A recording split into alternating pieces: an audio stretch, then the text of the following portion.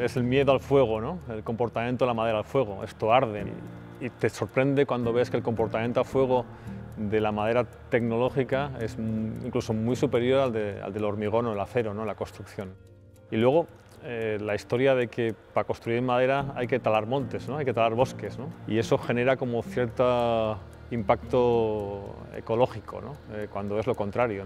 Lo que permite la construcción en madera es ordenar la gestión forestal y hacer que nuestros bosques no solo sean productivos, sino que estén cuidados, porque estamos generando valor en el propio bosque. ¿no?